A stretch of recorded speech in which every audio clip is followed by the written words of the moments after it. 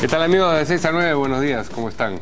Esta mañana nos acompaña para la entrevista política el congresista electo del Frente Amplio, Marco Arana. ¿Cómo está, congresista? ¿Qué tal? Buenos días. Buenos días, Mario. Bueno, ya en las tareas de instalación en la próximas Esa era la primera pregunta. ¿Ya, ¿Ya está instalado en Lima? ¿Ya se resignó a vivir en la capital por los próximos años?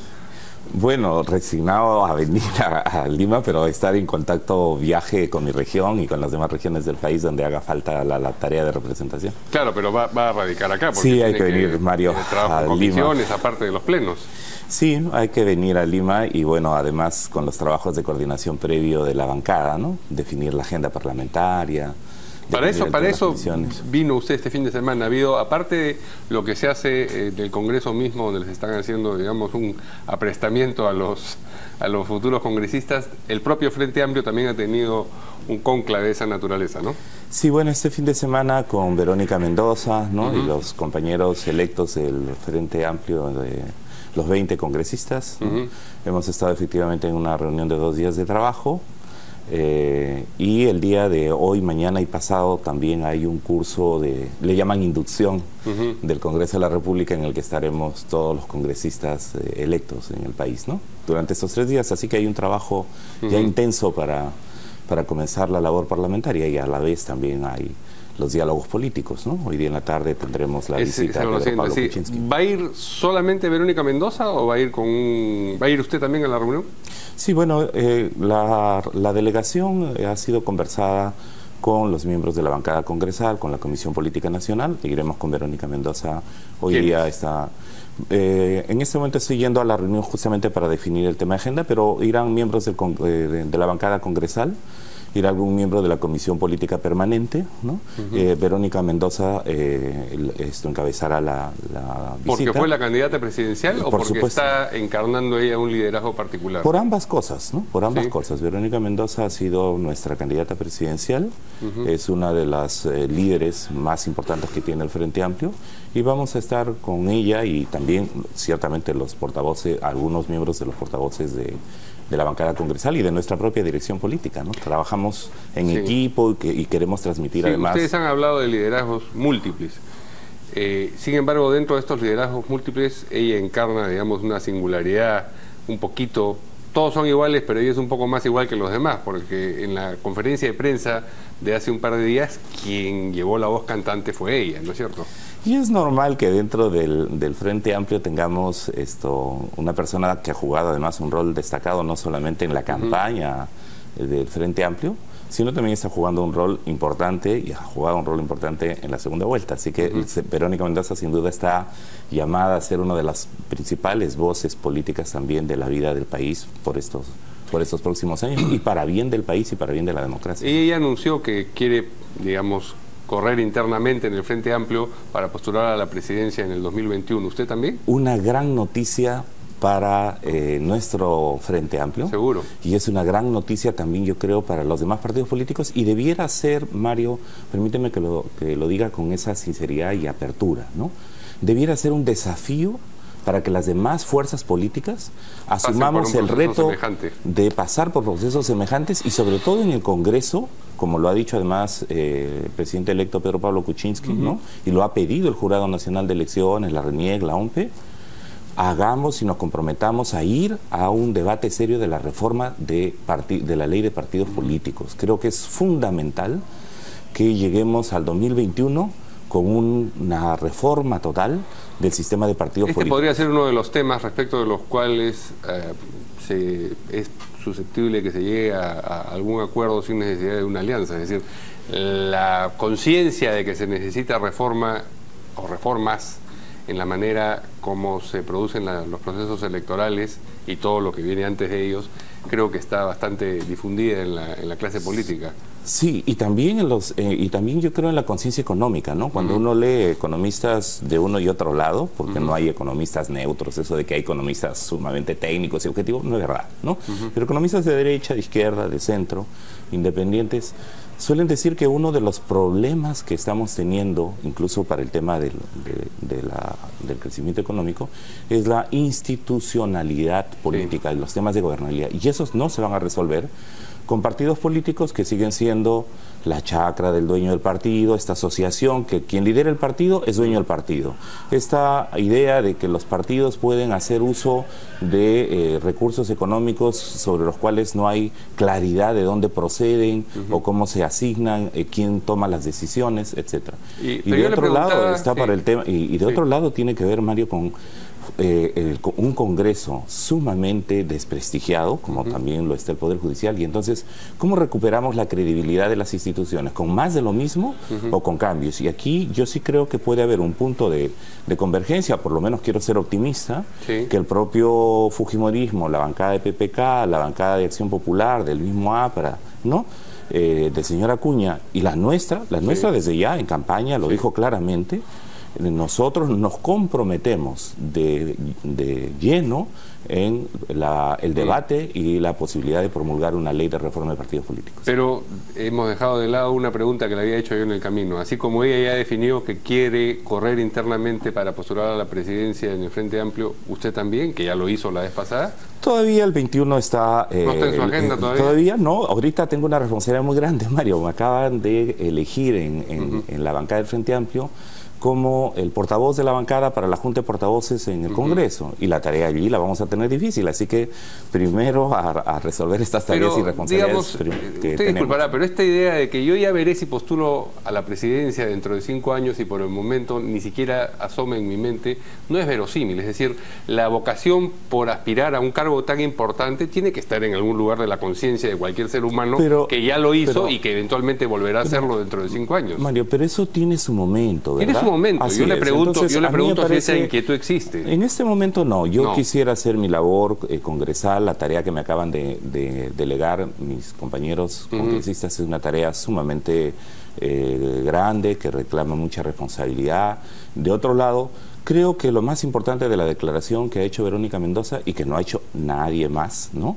Eh, es vamos a ir a procesos de afirmación y de decisión democrática con unas elecciones esto, ciudadanas abiertas. Mm. Me parece que en este punto Verónica Mendoza sigue colocando un tema importantísimo de la agenda y liderando no solo las actividades dentro del Frente Amplio, sino también retando a los demás, eh, a las demás fuerzas políticas a decirles esa la designación de una candidatura no puede ser predestinación, que a alguien se le ocurrió, que ah, eh, le habló una voz al oído para que sea designado ser presidente o presidenta del país. No, yo creo que eso nos hace mucho daño. Pero parte también de una vocación, porque no ah, hay manera de obligar a una persona que no y hay que trabajarla y por eso Verónica Mendoza ha dicho... Yo le estaba preguntando eh, por esa vocación. Claro, por eso Verónica Mendoza acaba de decir, vamos a definir en el Frente Amplio un mecanismo de elecciones internas y un mecanismo de elecciones internas supone que habrán varias candidaturas, esperemos que además surjan otras candidaturas y justamente eso permitirá darle mayor legitimidad y mayor fuerza y sin duda Verónica Mendoza es una de las personas que ha mostrado carisma, que ha mostrado esto una eh, entereza para asumir una campaña electoral en condiciones adversas, que estamos seguros el 2021 podrán ser adversas, pero estaremos mucho mejor preparados para enfrentar ese proceso electoral. En algunos conglomerados políticos, por ejemplo en el Fujimorismo, por ejemplo también en el nacionalismo, quienes ejercen el liderazgo partidario y no están trabajando son subsidiados por, digamos, el partido mismo o por una, un 10%, que, un diezmo como en la iglesia, que aportan, que aportan los congresistas de la bancada. ¿Eso sucederá en el Frente Amplio o, por ejemplo, Verónica Mendoza se va a dedicar a sus actividades profesionales y aparte de eso será la lideresa que es en el Frente Amplio? Todavía no he hablado en detalle sobre cómo quiere, porque además estamos saliendo recién del proceso, ¿verdad? Cómo quiere eh, organizar personalmente sus actividades profesionales y políticas, esto nuestra querida compañera Verónica Mendoza. Entonces eh, hay Pero que eso ver... tiene que ser una decisión de partido, no solamente Una decisión personal y una decisión política, ¿no? Ahora, sin duda el compromiso de los miembros del Congreso, ¿no? Ya está aprobado, el tema es que todavía pues hay que operacionalizarlo, o sea, recién juramentamos el 26, ¿no? de julio. Pero hay el compromiso de los compañeros congresistas de hacer un aporte a la organización política, eh, de tal manera que efectivamente se puedan eh, compartir eh, solidariamente los gastos que demanda una representación política también. Y ahí esperaríamos nosotros más bien profesionalizar un equipo de responsables políticos decididos por todos, en los cuales sin duda Verónica Mendoza tendrá un rol importante y esperamos que lo asuma, ¿no? El Frente Amplio ¿integrará alguna de las listas que se presenten a la mesa directiva del Congreso? Es previsible que se presente más de una eh, ahora eh, en julio. Aún no lo hemos decidido, todavía acabamos de tener, como mencionaba, eh, hemos tenido recién, esta ha sido la tercera reunión de la bancada congresal del Frente Amplio. Sí. el día de mañana tendremos una cuarta reunión para definir un poco terminar de definir la agenda parlamentaria y definir las comisiones. Y en función de eso, efectivamente, veremos la posibilidad de o, o, presidir una lista, ¿no? Esto, o llegar a una, que lo más probable, a una concertación con otros grupos políticos para que efectivamente pudiera haber una eh, lista que se presenta. ¿Y con quién se ven más verosímilmente integrando una lista? ¿Con el Fujimorismo o con el oficialismo? Bueno, dado que eh, todavía no sabemos a ciencia cierta, porque hay declaraciones incluso contradictorias, otras amenazantes, ¿no? del Fujimorismo para ejercer una labor obstruccionista dentro del Congreso, porque una cosa es ejercer sanamente una labor eh, fiscalizadora, una, una labor de control político y de oposición, como lo hemos dicho en el Frente Amplio. Y otra cosa es un poco sacar las garras y decir, bueno, el Congreso es de nosotros, las leyes saldrán como por un tubo, ¿no? Ya van a ver. Y entonces, así es, ¿no? No, no ayuda, ¿no? A mí me parece que tendrán que calmarse las aguas de la derrota electoral, hay que ser buenos ganadores y también buenos perdedores, eso necesita la democracia. Y en ese sentido esperaríamos algunas otras voces más calmadas, esto, la, que la misma Keiko Fujimori eh, recobre la serenidad sobre su responsabilidad política en el país y veamos la posibilidad de que efectivamente dentro del Congreso pudieran haber algunos acuerdos que yo no descarto incluso se extiendan hasta el Fujimorismo, ¿no?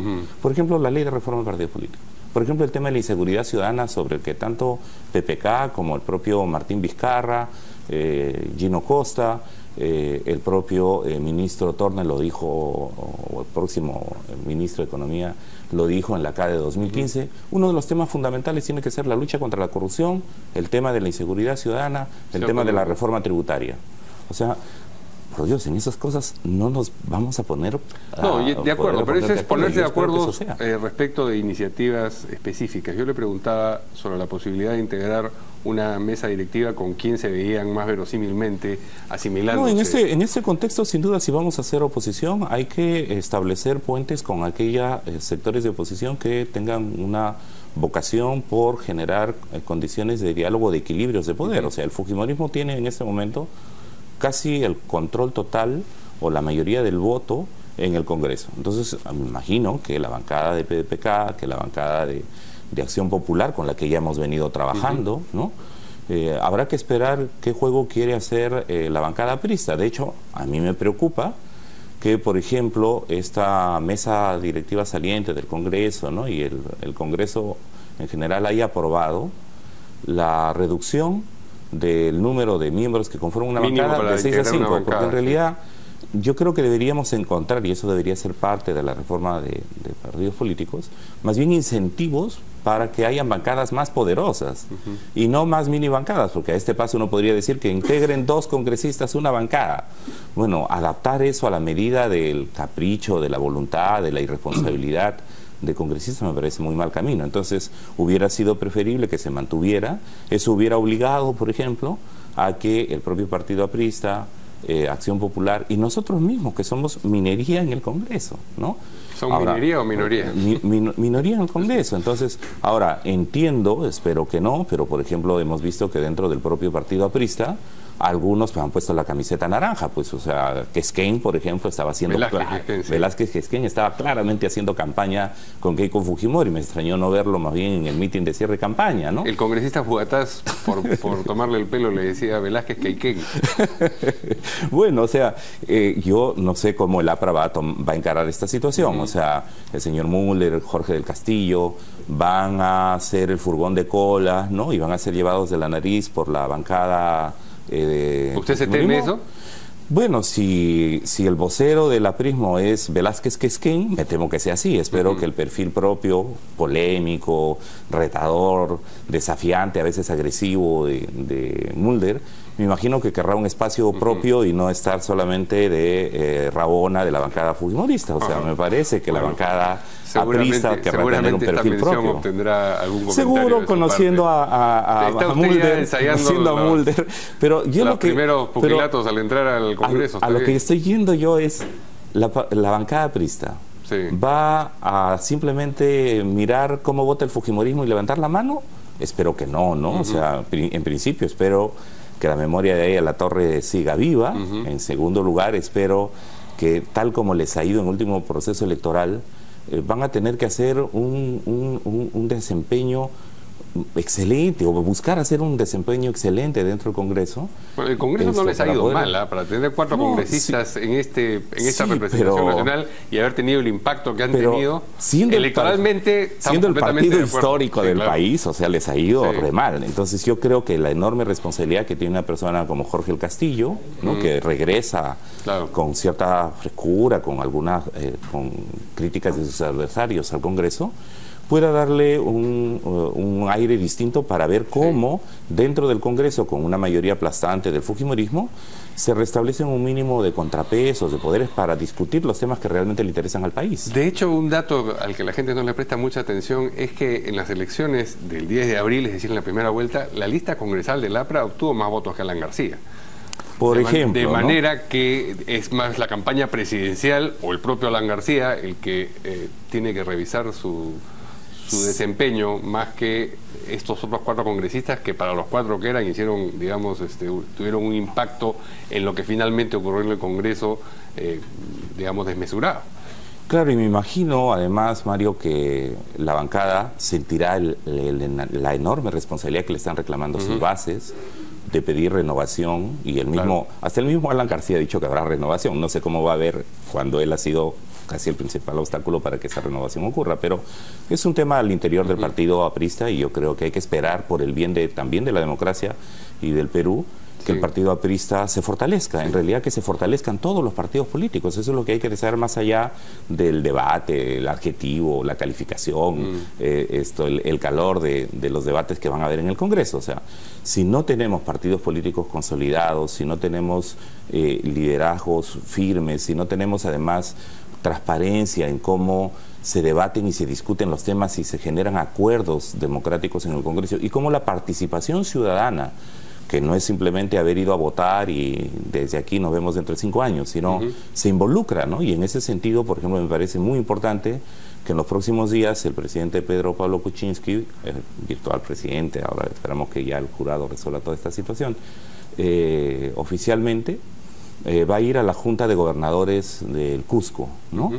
Y entonces, claro, los presidentes regionales, eh, Lampi, sobre esto, Mario, un tema interesante a tener en cuenta, ¿no?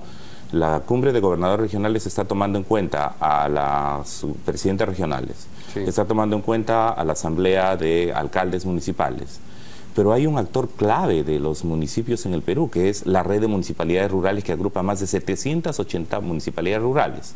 ¿No? No ha sido invitada, esperábamos que el propio eh, presidente electo Pedro Pablo Kuczynski, ¿no? Curse esa invitación. Y curse esa invitación porque hay que reunirse con todos los alcaldes y un tema que le van a, le van a pedir, entiendo, que es presupuesto y fortalecer el proceso de descentralización, para el cual estoy sin duda, hemos conversado en este mismo programa y, y en otros espacios con Martín Vizcarra, sin duda, eh, Martín Vizcarra tiene como razón de ser de su participación política el tema de la descentralización. Yo creo que eso puede ser un elemento fundamental, eh, cuyas señales desde el Cusco vengan también diciéndole al país, no nos vamos a olvidar del Perú profundo, hay que resolver esos graves problemas y esas graves brechas que hay entre el Perú oficial y el Perú olvidado. A propósito de la bancada de Frente Amplio, hoy día en Perú 21 veía una información sobre una iniciativa de investigación que según dice Perú 21, eh, en la que estaría particularmente interesado el congresista Damer, que es de su bancada, sobre los lotes 56 y 88 y cómo así fueron dedicados, eh, el gas que se obtiene en esos lotes, dedicados a la, a la exportación. ¿Eso es así? ¿Están ustedes ya empeñados en esa investigación o es un dato suelto? Nos parece que es muy importante, hay una iniciativa dentro de nuestra bancada y sin duda Manuel Damer es uno de los mejores conocedores que hay en el país del tema energético y el tema de empresas públicas. Y estoy seguro que, por ejemplo, en este momento en que necesitamos mejorar además la recaudación fiscal y, es, y uno de nuestros Claro, pero la investigación, que la investigación parecería, parecería tener una motivación política, porque es decir, Dahmer está en el Congreso en esta representación nacional que está terminando y esa investigación no ha ocurrido. Parecería que tiene que ver con la circunstancia de que Pedro Pablo Kuczynski haya sido el presidente elegido y comenzar a decir, bueno, vamos a generar algún tipo de dudas respecto de, la trayectoria de, política y ética también en última instancia, porque están investigándolo. Lo, este, lo, propio del Congreso es ejercer una labor fiscalizadora y de control político. ¿no? Yo he escuchado decir, no he hablado del tema con Pedro Pablo Kuczynski, que él no teme ninguna investigación, que no tuvo ninguna responsabilidad. Nosotros y muchos actores y expertos en el tema consideran que tuvo una responsabilidad. ¿A dónde apunta este tema? ¿A zanjar las diferencias? No, yo creo que apunta a un tema Claro, muy pero es algo del 2002 y del 2004. Está Dahmer presente en esta representación nacional y solo se saca el tema para investigar ahora. Está en el legítimo eh, derecho y, el señor Mario, no tendrá eh, ninguna objeción seguramente, pero llama la atención la oportunidad. Es eso lo que le estoy preguntando. Manuel Dahmer ha investigado estos temas desde siempre. O sea, yo lo conozco incluso desde que yo soy eh, niño, por la serie de, razones. Entonces, creo que, que no sería justo pensar que el tema tiene que ver con una suerte de toma y daca con el gobierno de Pedro Pablo Kuczynski. Para mí lo más importante no, no, pero, ese tema de que, ahora ah, de que ahora se quiere investigar porque se, quiere molestar al gobierno, no hay esa intención, Mario. Para mí el tema fundamental es este. Los, contratos esto sobre el lote 56 van a continuar como están. O sea, Pedro Pablo Kuczynski, yo le he escuchado decir y he escuchado decir a gente de su entorno que eso tendría que ser renegociado. Entonces esperemos que sea renegociado y que las responsabilidades que pudieran haber habido en materia contractual más bien nos sirvan para que el país no vuelva a enajenar sus recursos, no vuelva a hacer negociaciones absolutamente desventajosas contra el país. Entonces, a mí me parece que... ¿No le llama la atención que siendo congresista Damer no haya promovido esa misma investigación en este Congreso que está terminando? Bueno, se lo preguntaré en todo caso, pero yo sé que Manuel Damer, y yo admiro su labor, fiscalizadora y sé que es uno de los mejores conocedores en esa materia, como lo es, por ejemplo, en materia también de puertos. ¿no? Y Damer, no nos olvidemos, durante todo su periodo, porque sustituyó a Javier, a hace como tres años. Así es, pero eh, yo me he encontrado con Manuel Damer y con compañeros que simpatizan, que lo apoyaron incluso para que fuera a las elecciones primarias en varios lugares del país, haciendo una campaña para la renegociación de los contratos y explicando claramente por qué había sido lesivo los contratos para el país y quiénes eran los responsables. O sea, ¿Y van a investigar también por qué la oferta del gas, el balón de gas a 12 soles no se cumplió? No. Bueno, es un tema que hay que, hay que verlo. Si, hay, particularmente sí, han habido, mira, si han habido sobre esos, esos temas de campaña, responsabilidades, lo propio es corregir, ¿no? Eh, a mí lo que me parece importante es que es inaceptable que en este momento el gas lo estemos vendiendo más barato a México y que incluso allí se esté revendiendo al mercado asiático o europeo con tasas eh, de precios muy altos y que el Perú esté perdiendo. Eso no puede ser. En un país que se respeta, el gas debería masificarse para todos los peruanos. Tenemos que terminar, ya nos ganó la hora, que teníamos todavía temas, pero ya que está ahora usted en Lima, lo tendremos con más frecuencia aquí en Canal N para conversar sobre todos estos temas. Muchas gracias al congresista electo Marco Arana del Frente Amplio y nosotros nos vemos mañana. Buenos días. Muchas gracias, buenos días.